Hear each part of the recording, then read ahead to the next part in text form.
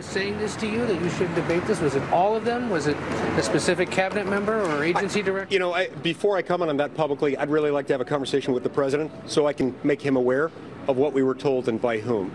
But I will say that the messages we received didn't get any pushback internally from the briefers. What we were told over and over again was, uh, uh, look, this action was necessary. Uh, this was a bad guy. We, we had to do it. And um, uh, we can't have division. We can't have dissension uh, within our ranks, within our government, or else it sends this, the wrong signal to the Iranians. And I just, I think that's completely wrong. They were asked repeatedly, what, if anything, would trigger the need for the administration to come back to Congress for a declaration of war or an authorization for the use of military force. At one point, I believe one of the briefers said something along the lines of, I'm sure we could think of something. But they struggled to identify anything.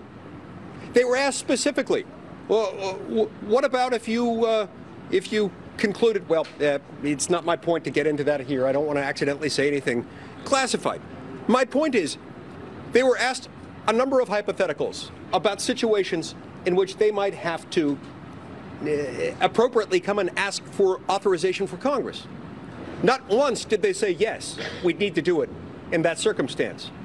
Uh, at one point, one of the briefers said something like, uh, don't worry, we'll consult you.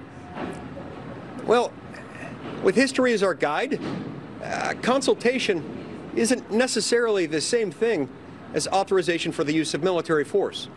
A declaration of war or an AUMF is what the Constitution requires, and uh, drive-by notification or after the fact uh, lame briefings like the one we just received aren't adequate.